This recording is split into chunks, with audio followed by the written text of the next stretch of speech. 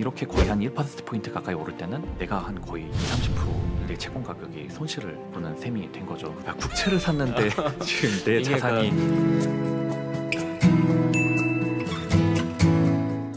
최근 이게 투자 시장 관점에서 봤을 때 음. 개인 투자자들이 이렇게 채권 시장으로 몰리고 있는 분위기가 나타나고 있다고 알고 있는데 네. 예전과 비교했을 때 좀 어떤 상황이라고 봐야 될까요? 아, 네. 여, 그 참 엄청납니다. 저도 아, 이 정도로까지 그렇구나. 올 줄은 네. 몰랐는데 네. 여기 요 어, 표를 보시면요, 음. 이 그래프를 보시면 이거를 2020년보다 더 과거로 쫙 끌어도 네. 어, 더 과거로 끌어도 개인이 채권을 매수하는 규모는 월 한 2, 3천억 정도에 어, 불과했었거든요. 네, 네, 네. 그러니까 전혀 채권 시장에 영향을 미치지 그렇죠. 못하는 음. 예, 채권은 완전히 기관 투자자들의 아. 장이었었는데 개인의 영역은 아니었구나. 그렇습니다. 네. 예. 근데 음. 한 2022년 하반기쯤부터 이때가 이제 국채 금리가 막 4%막 음. 넘어가기 시작한 뭐 이제 안정적으로 3%는 넘어가는 시점인데 네. 이때부터는 개인들이 어, 채권을 순매수를 이제 아. 월간 한 3, 4조씩 3, 4조요? 예, 3, 4조씩 하기를 시작했습니다. 네. 이게 얼마나 어마무시한 음. 규모냐면 그래서 개인들의 어, 채권 보유 잔량이 음. 어, 보시다시피 한 2022년 1월만 해도 8조에 불과했는데 네. 지금은 한 대략 한 50조 정도 아. 하고 있거든요. 그러니까 엄청나네. 순매수를 한 40조 넘게 한 거죠. 근데 네. 이렇게 순매수를 40조 정도 한 기관은 음.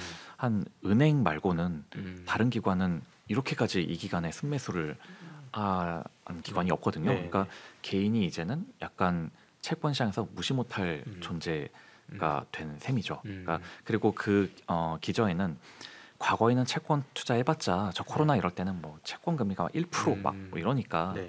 사람들이 아 그냥 내가 수익률을 얻고 싶 현금을 얻고 싶어도 수익형 부동산 사지 음. 뭐하러 맞아요. 채권 네. 금리도 안 나오는 채권 사냐 이랬는데 이제는 뭐 한 3, 4%한 4% 음. 이쯤 나오니까 음.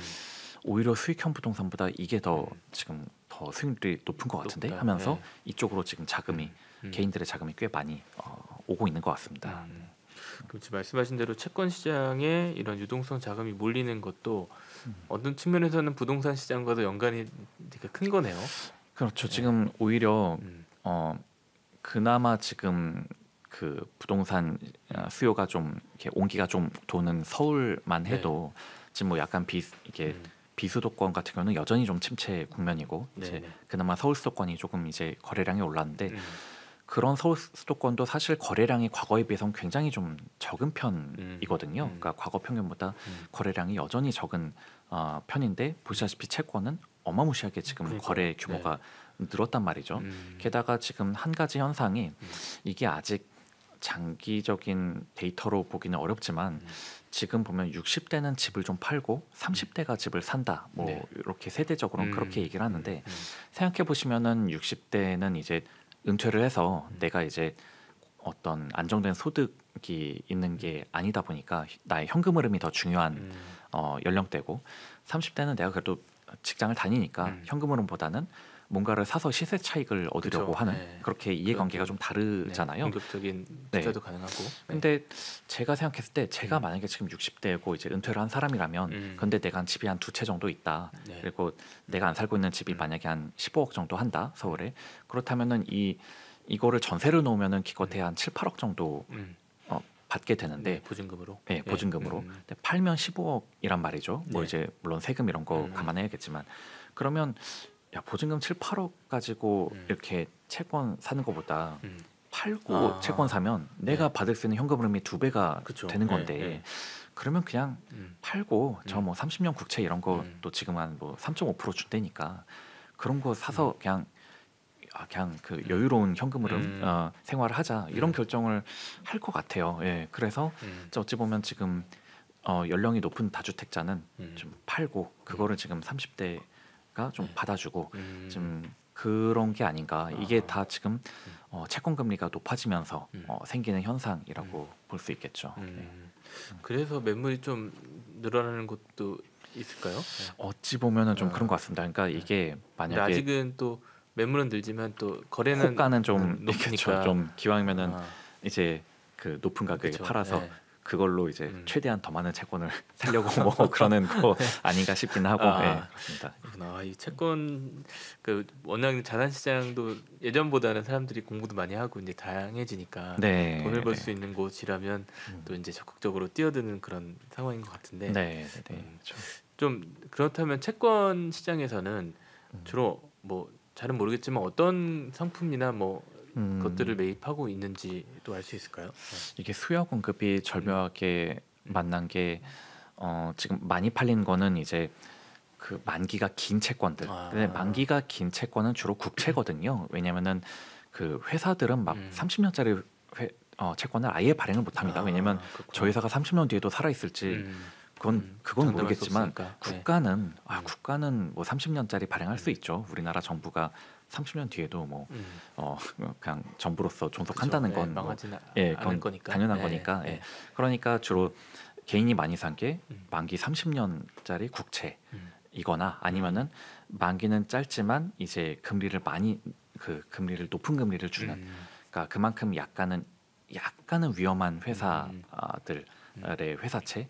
그러니까 금리를 높게 주는 회사 채거나 아니면 음. 만기가 되게 긴 국채 이런 음. 쪽으로 아, 지금 수요가 많고. 네. 그리고 실제로 증권사들도 음. 어, PB 이런 유통 채널을 통해서 음, 주로 그런 쪽을 마케팅을 음. 많이 해서 그 뭐 개인의 성향에 따라 좀 안정성을 추구하냐 뭐 고위험성을 추, 추구하지만 수익을 노리냐 이런 차이도 있는 건가요? 그렇죠. 좀더 위험을 어. 나는 좀 더 위험 성향은 음. 높은데 고금리만을 바란다. 네.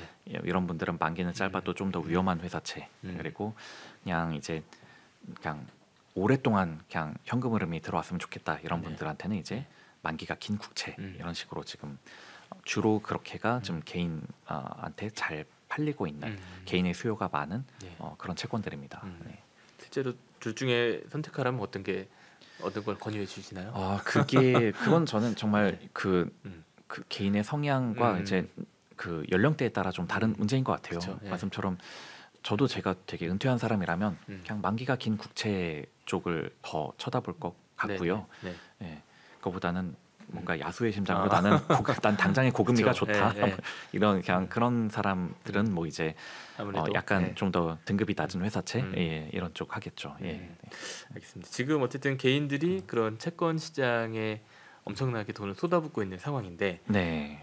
뭐 금리 상황도 좀 변화가 계속 되고 있고 음, 음, 혹시 음. 개인 투자자들도 채권 시장에 들어갔다가 손해를 볼 수 있는 여지는 얼마나 된다고 봐야 될까요? 어 그게 안타깝게도 음. 그 손실로 이어진 사례들이 적지 않은 것 어, 같습니다. 네. 어, 왜냐하면은 어, 제가 앞서 보여드렸던 이 그래프처럼 국채 금리마저도 이렇게 변동성이 높게 흘렀거든요. 네. 즉 이때쯤에 예를 들어서 뭐한 음. 2023년 상반기 음. 요때 상당히 개인들이 국채 많이 사셨는데 음.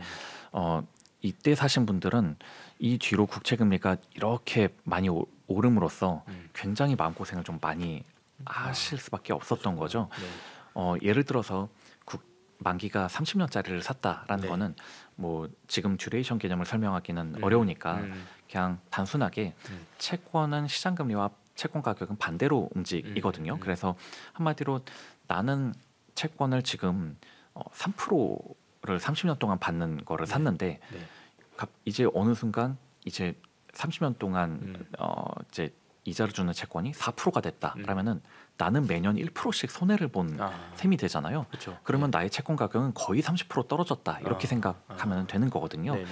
그러니까 저렇게 만약에 이 시점에 30년짜리 국채를 샀다라면은 음. 이렇게 한 이렇게 거의 한 1% 포인트 가까이 오를 때는 음. 어 내가 한 거의 2, 30%내 음. 채권 가격이 음. 손실을 보는 셈이 된 거죠. 그러니까 그렇구나. 이거는 네.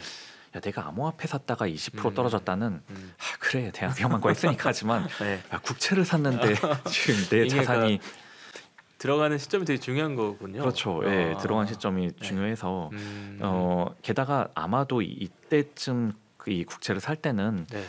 아, 아마 본인도 그렇게 생각했을 거예요. 이게 네. 다시 4%로 오를 일이 음. 없을 거다. 음. 앞으로 금리는 더 내려갈 일만 남았지.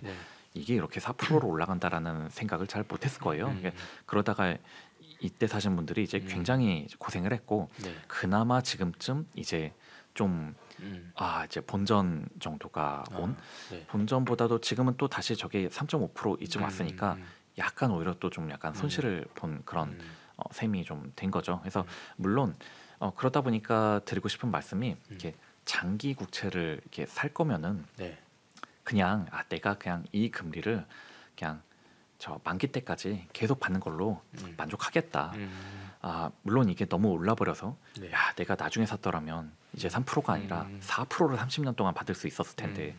내가 왜 일찍 사서 지금 3%밖에 못 받나 마음은 쓰리겠지만 그렇죠. 그냥 어. 아, 3 그냥 3% 그래 로3% 내가- 내가, 어. 받는 거 음, 만족하자 이렇게 지내다 보면 어느 순간인가는 분명히 또이 음. 그 금리가 떨어지긴 할 거거든요. 네네. 그러면 그때 가서 어, 마음 편해지자라는 잘했다. 생각으로 네. 예, 그렇게 음. 접근을 하면 좋겠고 음. 그리고 또 개인 입장에서는 저 같은 사람이야 이제 채권 시장에서 직접 운용을 하는 네네. 사람이다 보니까 네.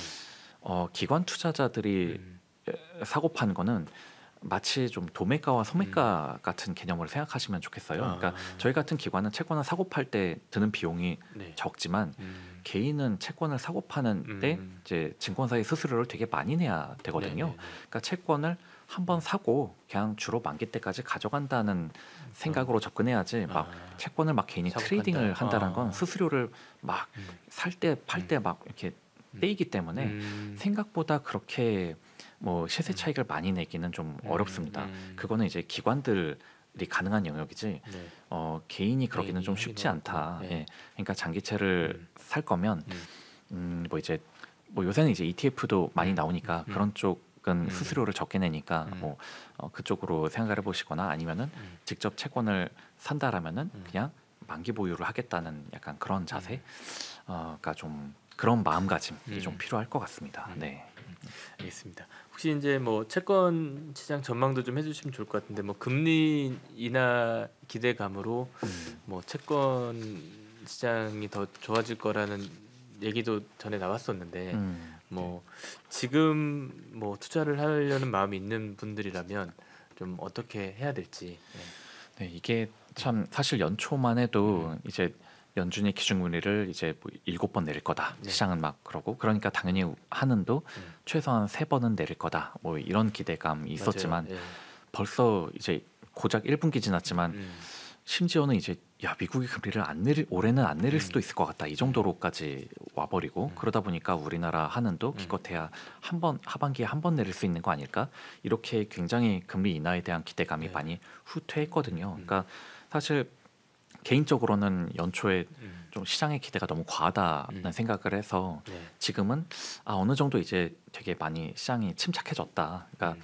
지금 정도의 어떤 컨센서스 좀 연준이 많이 내려봐야 한 두세 번 뭐 연준은 한 두세 번 내리고 그러면 한은도 기껏해야 한두 번 내릴 수 있지 않나 뭐 이 정도 감을 잡는다면은 네. 그러면 채권을 투자했을 때 시세 차익을 빠르게 많이 얻을 수 있다 음. 이런 기대 를 하기보다는 음. 그냥 어, 앞서 말씀드렸듯이 네네.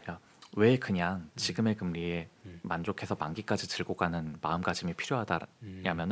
그냥 고금리가 어느 정도 좀 어느 정도 장기화 된다라고 생각한다면 음. 그냥 나는 이 이 고금리에 만족하겠다. 음. 그러니까 금리가 내려감으로써 생기는 채권의 시세 차익보다는 네. 그냥 지금 음. 지금 대략 국채들이 한 3.5% 정도 주고 있는데 네. 3.5% 계속 그냥 받는 거에 음. 나는 만족하겠다. 어차피 지금 수익형 부동산들도 그 정도 그쵸. 수익 네. 제공하는 게잘 네. 없거든요. 네. 그러니까 어, 그런 마음가짐으로 접근을 하면은 음.